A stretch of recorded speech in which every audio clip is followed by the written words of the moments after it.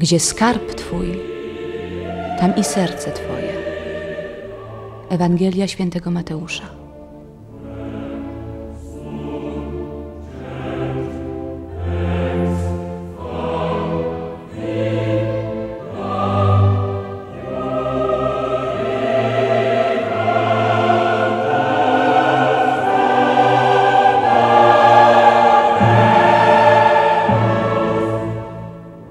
Głos jego był już bardzo słaby. Ludwika musiała więc nachylać się nad łóżkiem, aby zrozumieć poszczególne słowa. Mówił, jak bardzo ją kocha, jak bardzo tęskni za matką i za Warszawą. Wiedząc, że niewiele czasu pozostało, poprosił siostry, by pochowano go tutaj, w Paryżu, by w kościele Madeleine zagrano rekwiem Mozarta, którego tak miłował.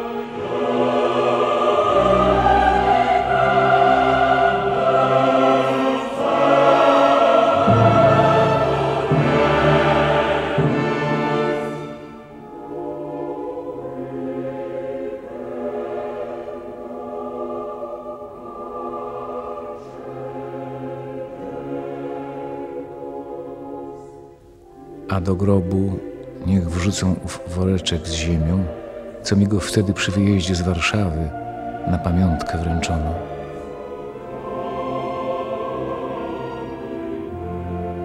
Choć opuszczasz nasze kraje, lecz serce pośród nas zostaje. To cytat z kantaty, którą śpiewali jego przyjaciele, kiedy 2 listopada 1830 roku opuszczał rodzinne miasto.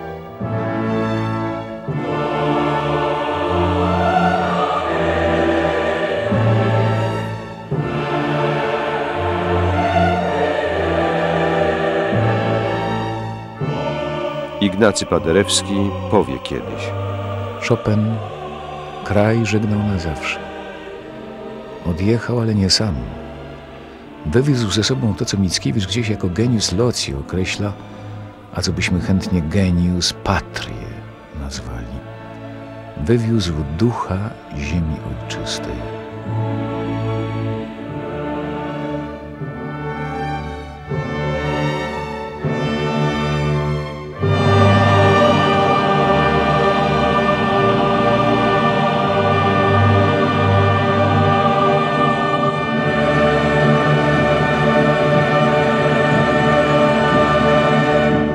Serce, serce, moje serce. Myślał umierający i poprosił siostrę. Gdy mnie ten kaszel zadusi, zaklinam was. Każcie otworzyć moje ciało, żebym nie został pochowany żywcem. Niech wyjmą moje serce. A ty zabierz je do domu, do Warszawy.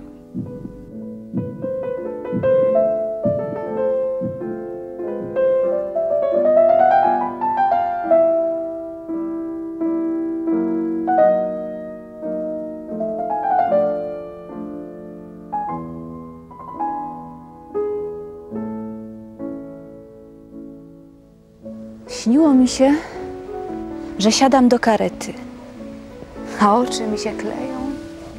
Orety. Śniło mi się, że siedzę w karecie i pytam się, bo mnie wiedzą przez lasy, przez jakieś murowane miasta. A gdzie mnie biesy wieziecie? A oni mówią do Polski. A kasty sta Polska, a kasta. Pan wiedzą? Po całym świecie możecie szukać Polski, panno młoda, i nigdzie jej nie znajdziecie. To może i szukać szkoda.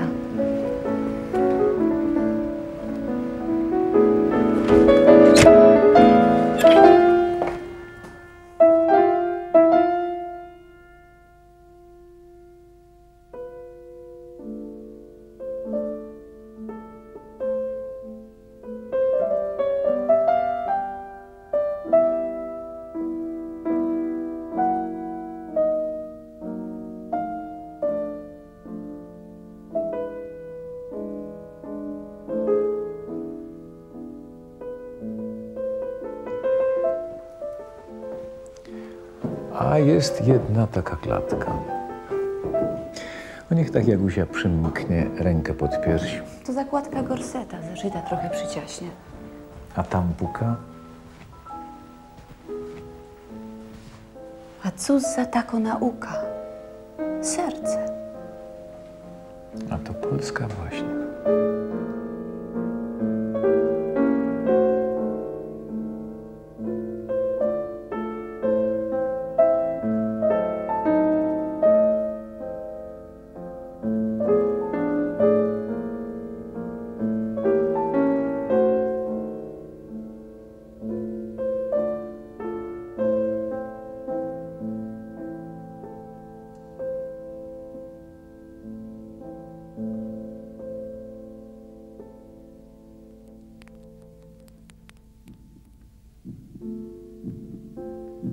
Ledwie, że jeszcze pamiętam, jak w kraju śpiewają. Tymczasem moja sztuka, gdzie się podziała, a moje serce, gdziem zmarnował.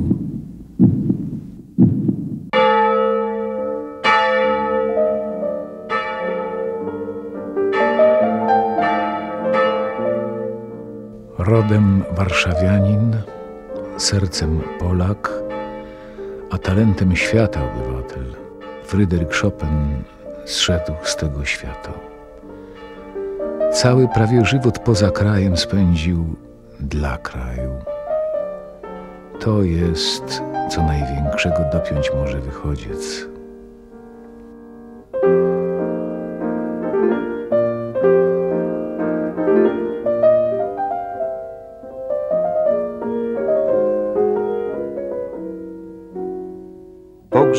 Odbył się na słynnym cmentarzu Père Lachaise. Cały artystyczny Paryż opłakiwał śmierć wielkiego Chopina. Opłakiwał to, co utracił, a co tak trafnie opisał Henryk Heine. Nic nie może mierzyć się z rozkoszą, jaką sprawia Chopin improwizując na fortepianie. Wówczas nie jest Polakiem, ani Francuzem, ani Niemcem. Zdradza on w owej chwili daleko wyższe pochodzenie. Jego ziemią rodzinną zdaje się być wtedy kraj Rafaela, Mozarta i Goethego.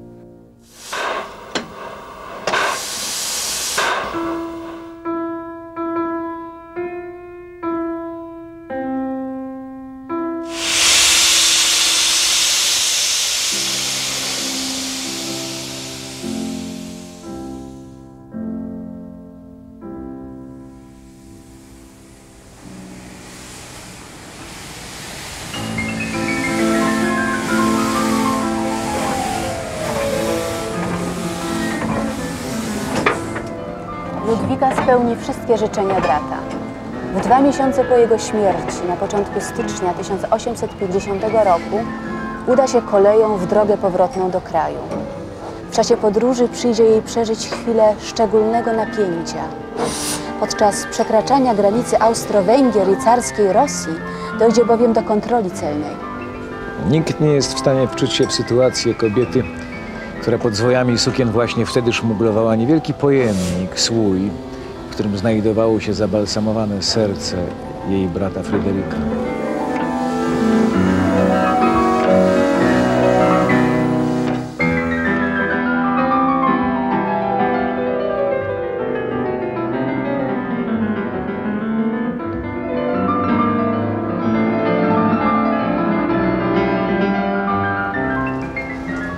Gdzieś tutaj, na warszawskim bruku, leżał roztrzaskany fortepian Chopina, wyrzucony z okna przez rosyjskich żołdaków.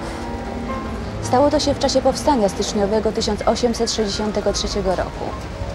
Carscy czynownicy dobrze wiedzieli, że Chopin to muzyka podsycająca narodowe uczucia i zaciskająca pięści.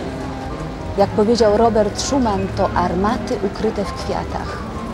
Wyrzucenie przez okno instrumentu, na którym grywał w młodości Fryderyk Chopin, jest więc aktem nie tylko instynktu niszczenia, ale urasta do rangi symbolu.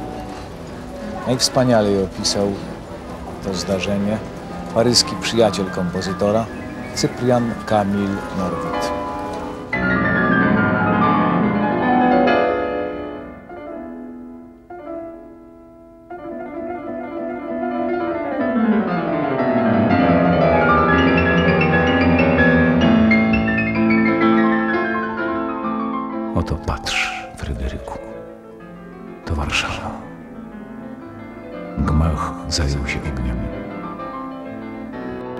Widzę, aż dymem oślepion, jak przez ganku kolumny sprzęt podobny do trumny wydźwigają. Runął, runął twój fortepian. Ten, co Polskę głosił od zenitu wszech doskonałości dziejów, wziętą hymnem zachwytu, Polskę przemienionych kołodziejów.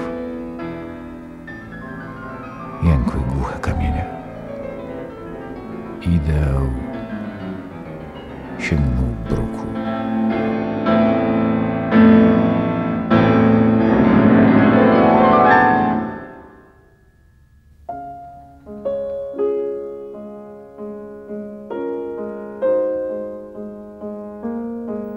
Przywiezioną przez Ludwikę urnę umieszczono wpierw w katakumbach kościoła Świętego Krzyża, tuż obok ostatniego warszawskiego mieszkania Chopina.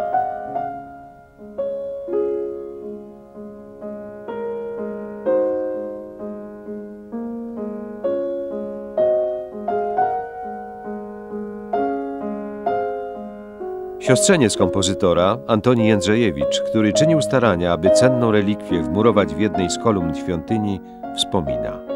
Chodziło o to tylko, by wszystko odbyło się po cichu, bez hałasu, bo o jakimś uroczystym przeniesieniu nie mogło być mowy na razie. Jakoż stało się wieczorem, w cichości, w obecności kilku osób zaledwie, gdy otwór w ścianie, w który wsunięto skrzynkę, został zamurowany, zrodziła się myśl wśród rodziny, by w miejscu tym wznieść odpowiedni monument.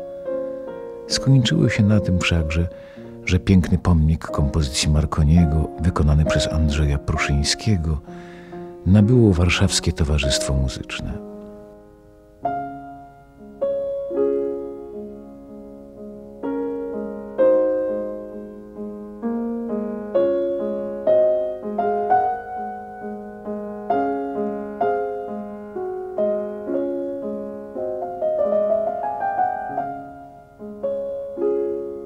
Po roku 1880 zaborca carski złagodził nieco rygory i represje wobec narodu polskiego. Z inicjatywy rosyjskiego kompozytora Miliusza Bałakiriewa w Żelazowej Woli odsłonięto wówczas uroczyście pomnik Fryderyka Chopina.